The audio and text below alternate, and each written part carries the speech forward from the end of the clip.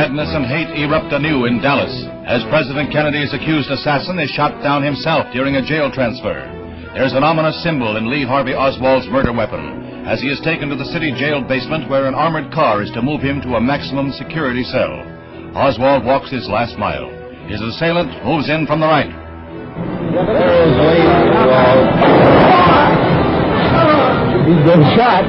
He's been shot. Lee Oswald has been shot. Now, from another camera, the motion is slowed. The murderer moves in, and here is the shame of all America as Jack Rubenstein takes the law unto himself. The dying Oswald is rushed to the same hospital where President Kennedy died. Doctors work to save his life.